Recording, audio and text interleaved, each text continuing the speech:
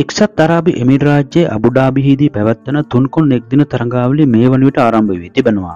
ඒ ශ්‍රී Lanka under 19 කණ්ඩායම Bangladesh under 19 කණ්ඩායම සහ ඇෆ්ගනිස්තාන් අන්ඩර් 19 කණ්ඩායම අතර තරඟාවලියයි. ශ්‍රී ලංකා කණ්ඩායම මුහුණ දෙන පළමු තරඟය අද පැවැත්වන බංග්ලාදේශ අන්ඩර් 19 කණ්ඩායම සමගින් කාසි වාසය දිනගත් බංග්ලාදේශ අන්ඩර් 19 කණ්ඩායම මුලින්ම පන්දුවට පහර දීමට තීරණය කළා. එය අනුව තම පන්දුවාර පන අවසානයේ කඩලු අටක් පමණක් දැවී ලකුණු 229ක් රැස් කළා. ශ්‍රී ලංකා කණ්ඩායම වෙනුවෙන් පන්දු වැයීමේදී මල්සා තරුපති කඩලු තුනක් සහ විශ්ව ලහිරු එක් කඩුල්ලක් මෙදහෙලීමට සමත් වුණා.